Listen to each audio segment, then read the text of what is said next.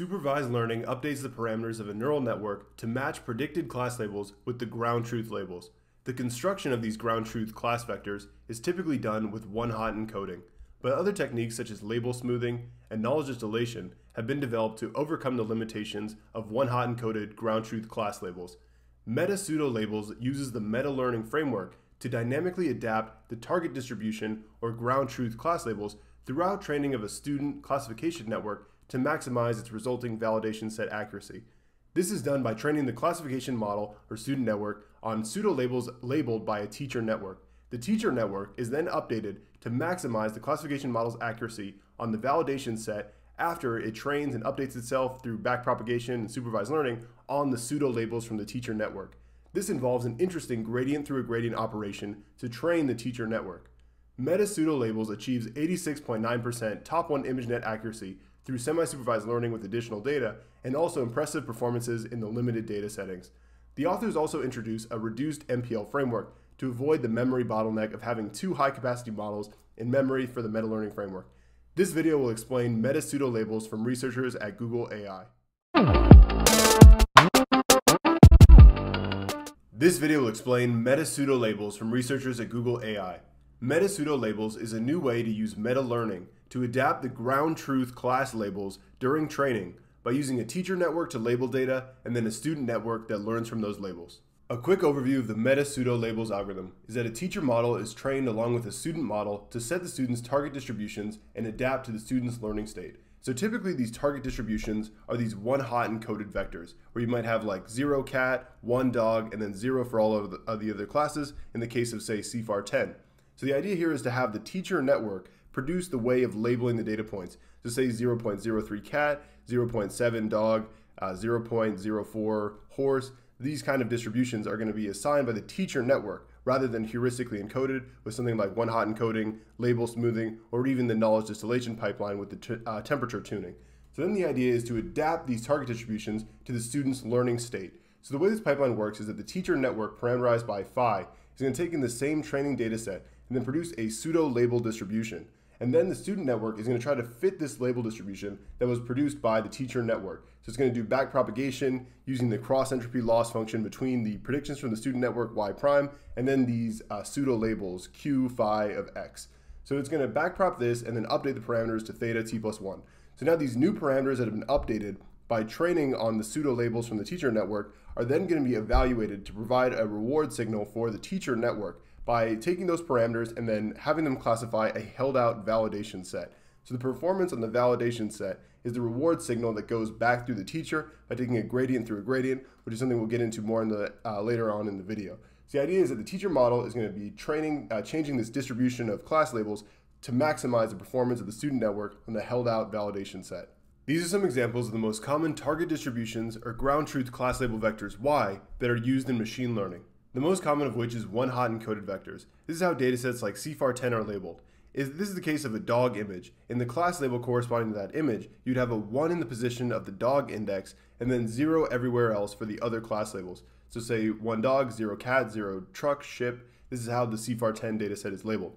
So one problem with labeling datasets with one hot encoded vectors is that the model is going to have these overconfident or overfitted predictions to this kind of a class label distribution. Because say it applies any probability density to another class, it's going to have a penalty from the cross entropy loss for doing so. So if it say sees this dog image and tries to label it as 0.75 dog and 0.2 cat because it's unsure whether it's a cat or a dog, it's going to be penalized for that as if the cat is just as different from a dog as a truck or a ship or a frog or these other CIFAR 10 classes. So one solution to the overconfident predictions or overfitting of the one hot encoded vectors is label smoothing. So label smoothing is where you apply this uniform weight to all the other uh, class labels in the class label vector. And then another solution to assigning these target distributions is knowledge distillation.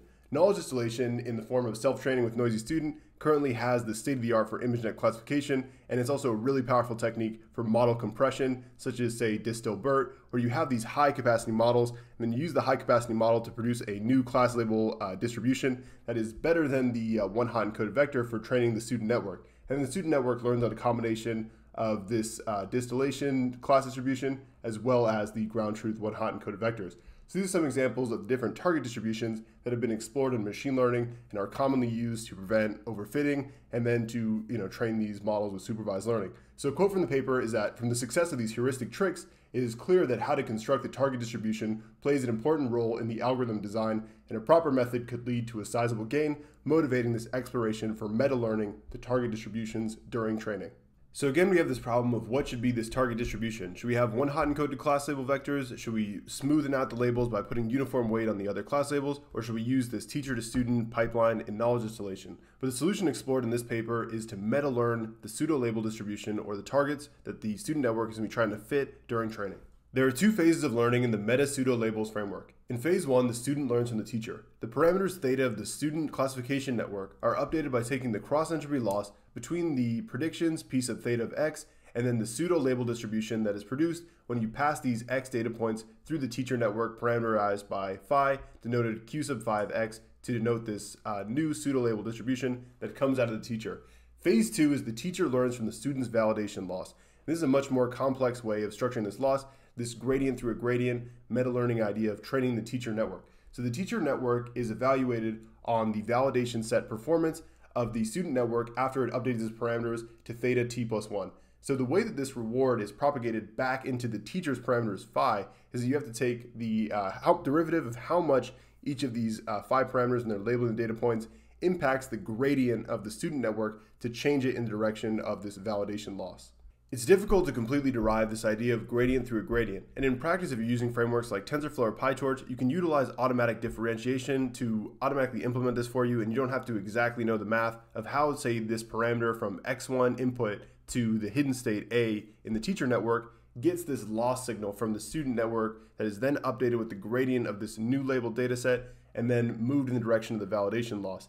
But the idea, the high level idea, and I think maybe visualizing these two networks even though in practice the teacher network is going to be a multi-layer perceptron like this, but the student network is one of these high capacity classification models like ResNet, wide ResNet, or EfficientNet.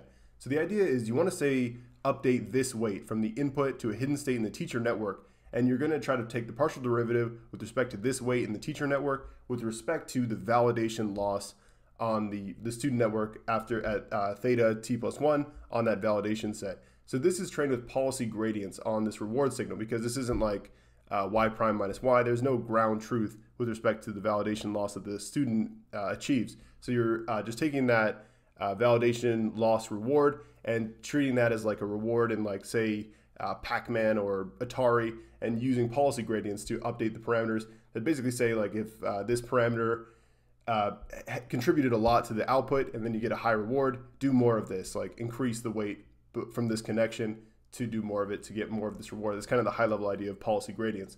But the idea is that in order to get this derivative to find out like how much of this weight contributed to the validation loss, you have to take a gradient through a gradient, which is a pretty complex idea that's maybe uh, better explained in the next equation from the paper. Hopefully this equation from the paper will further explain the idea of taking a gradient through a gradient to update the parameters phi from the teacher network with respect to the parameters theta t plus 1 that are evaluated on the validation set. So the idea was we're taking a gradient through a gradient. So the parameters theta t plus 1 that are responsible for this validation loss reward signal we're trying to update the teacher network with are updated by taking the parameters theta t and then updating them with a gradient. So we want to know how much each parameter in phi is responsible for the gradient that updates this. So you're taking the derivative with respect to phi of this validation loss.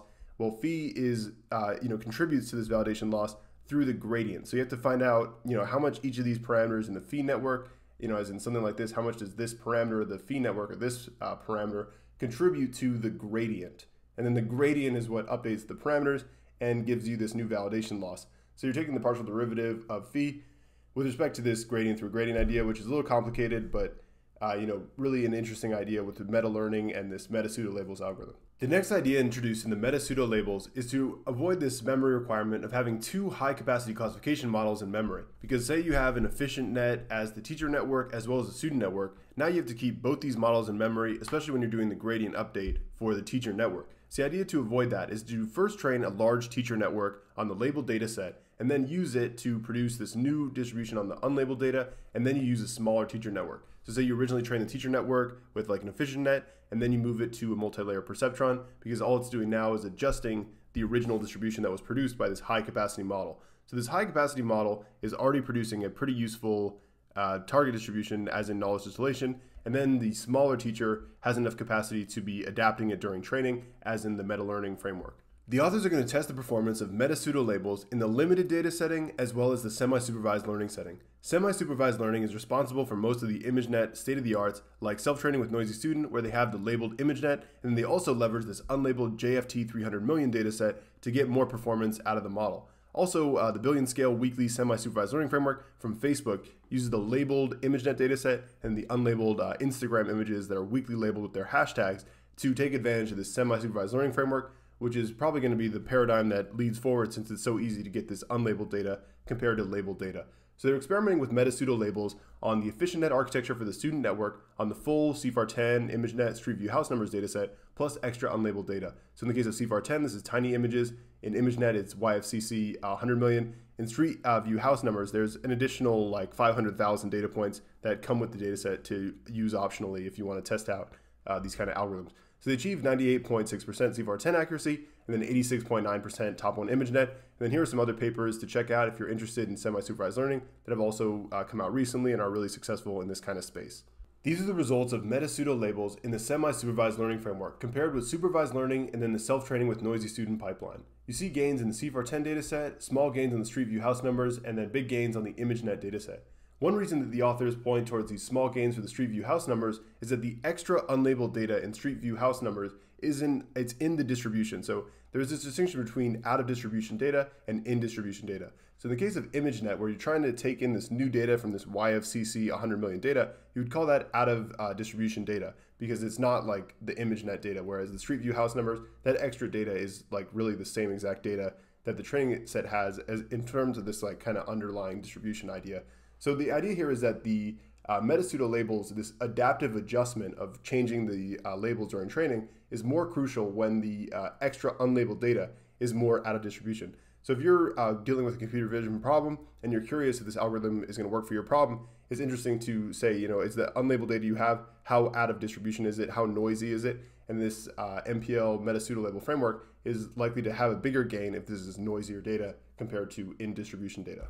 The authors also test the meta-pseudo labels algorithm in the limited data setting, where you have, say, only 4,000 labeled images in CIFAR 10, 1,000 in Street View house numbers, or 10% of the labeled data in ImageNet. In this case, you see the performance of meta-pseudo labels compared to supervised learning with all the labels, SimCLR, FixMatch, or unsupervised data augmentation, which are all other algorithms that are successful at doing this kind of learning with limited data. This plot shows that the performance of these models with respect to the different limited data settings changes as you increase the percentage of labeled data points. The interesting part about this plot is this uh, top left area where you have the smaller percentage of labeled data and you see a huge gain of the unsupervised data augmentation plus the meta pseudo labels algorithm compared to supervised learning or the RandAugment uh, data augmentation algorithm. This table shows the gains of meta pseudo labels with respect to the CIFAR 10 limited data setting and then the Street View house number limited data setting. So see the performance of different algorithms like just training with supervised learning on this limited data, using that label smoothing uh, way of putting uniform weights on the other class labels, then using supervised learning plus meta pseudo uh, labels, and then stacking meta pseudo labels with the RandAugment and unsupervised data augmentation algorithms.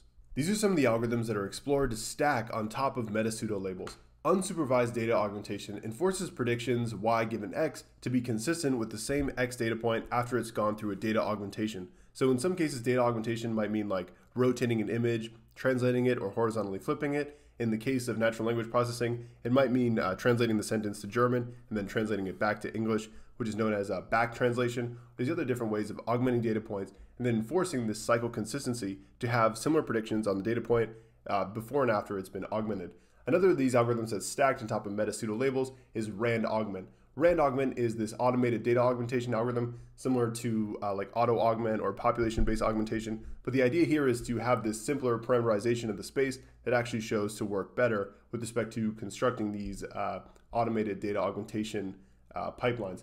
And the next uh, sort of algorithm to be looking at as well and comparing this with is self training with Noisy Student, which is this really popular way of doing knowledge distillation which is where you uh, take the pseudo labels, you apply a lot of noise with respect to training the student model on that uh, teacher target distribution, which is the whole idea of meta pseudo labels, is looking at the ways to structure this target distribution to train these neural networks on. The authors explore the behavior of the teacher network in the meta pseudo label framework. So they've learned that the meta pseudo label uh, teacher fits the validation gradient. It's not just label corrections, and it's not only a regularization or preventing overfitting strategy. The authors explore this idea that the teacher encourages the student's training gradient to be similar to the student's validation gradient on this two moons dataset because it's really difficult for them to uh, do this kind of cosine similarity between validation and training data gradients with these larger datasets like CIFAR10 or ImageNet.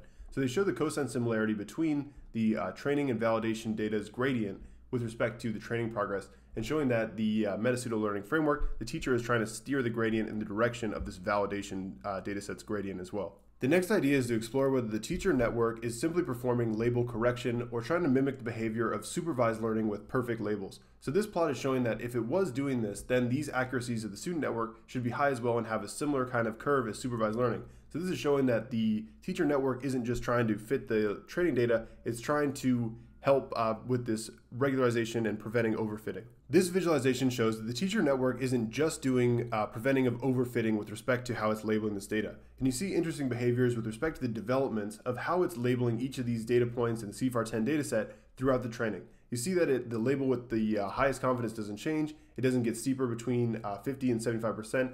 It doesn't do things like flipping labels or dampening distributions in obvious ways that are typically heuristically explored with respect to uh, you know, doing regularization in the class label space.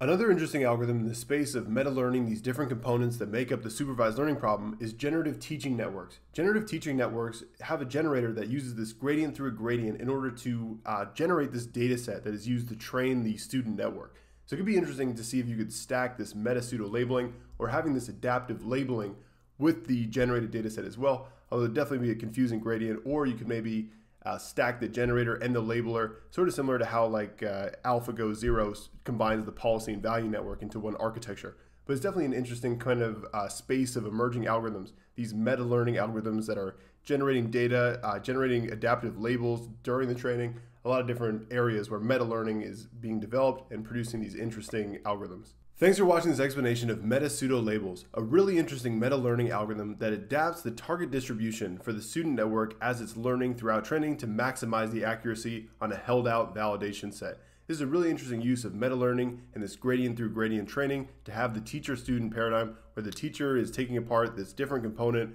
of the supervised learning framework, particularly in this case the target distribution, and then the student is learning with the teacher network in this simultaneous uh, like dual optimization or coevolution framework of training these two models in the meta learning idea.